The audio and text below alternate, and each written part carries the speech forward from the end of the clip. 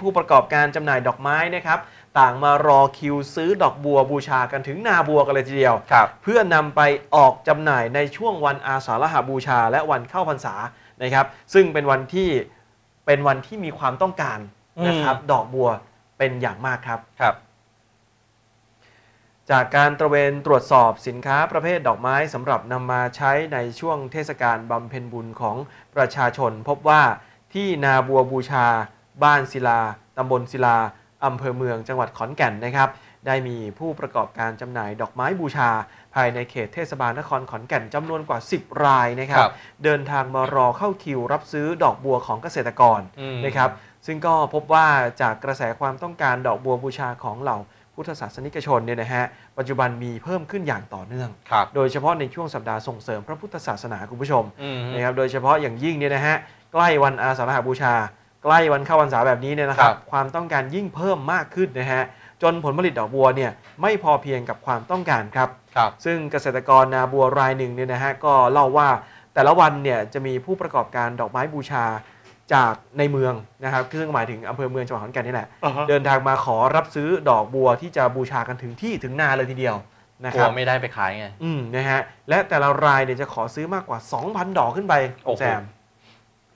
เยอะนะ2,000ดอกถ้านับกันจริง ๆ ถ้ามัดละเท่าไหร่เนี่ย จริง ๆ มัดหนึ่งก็หลักสิบมัดละอสิยู่บที่ว่าอ่าจะคำนวณกัน20ยังไง ใช่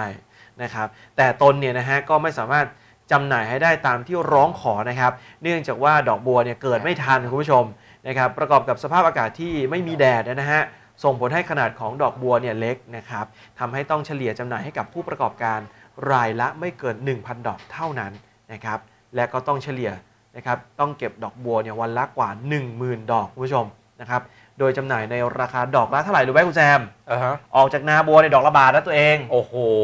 อืมนะฮะเดี๋ยวเดี๋ยวเดี๋ยวแต่ก่อนนี่มัดใหญ่ๆเนี่ยนะมัดละ 80 บาทไม่ใช่เหรอถูกครับ แต่เออทุกวันนี้แต่อช่อวงกจากนาเนี่ยช่วงอาทิตย์ที่ผ่านมานี่ขึ้นเป็นฮะ150 บาทร้อยห้าสิบบาทครับสองเออเท่าแล้วนะฮะ นะครับทั้งดอกบัวขนาดใหญ่และดอกบัวขนาดเล็กนะครับครับ ซึ่งเอ่อส่วนใหญ่ของสาเหตุที่ทำให้ดอกบัวออกดอกน้อย ครับ ก็เพราะว่าปัจจุบันเนี่ยพบว่าประสบปัญหาภัยแล้งนั่นเองอืม นะครับทำให้ดอกบัวเนี่ยออกดอกน้อยลงนะคครับ รับพร้อมกับมีการแพร่ระบาดของศัตรูพืชด้วยอ่านี่นะฮะส่วนหนึ่งอาจจะมาเป็นคนที่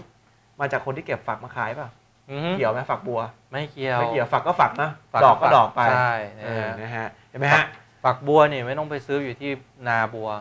อ่าใช่ ไปแถวสี่แยกไฟแดง มีทำไมอะหลายแยกเขามาเดินขายฝักบัวฝักบัวอ๋อแล้วไม่งั้นก็ร้านสุขภัณฑ์ฝักไม่ใช่ไม่ใช่ อันนั้นมันเอาไว้อาบน้ำอันนั้นมันอยู่ในห้องน้ำคุณสับสนอะไรปะเนี่ย